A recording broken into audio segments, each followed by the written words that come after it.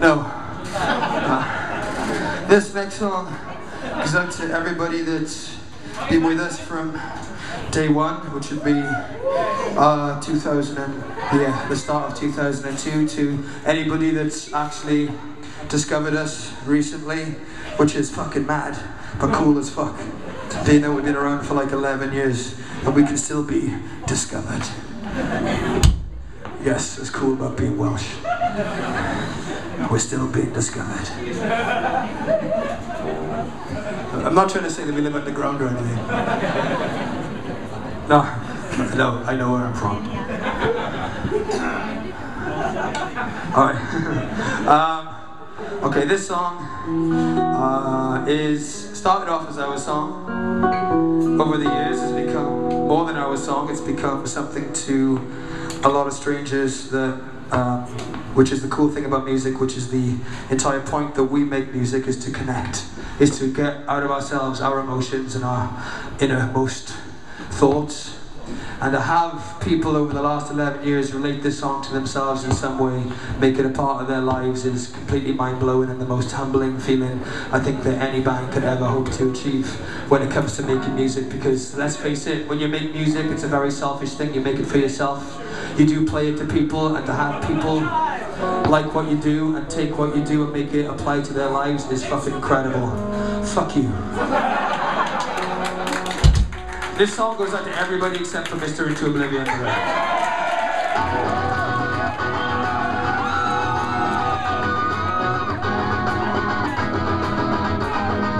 Everybody!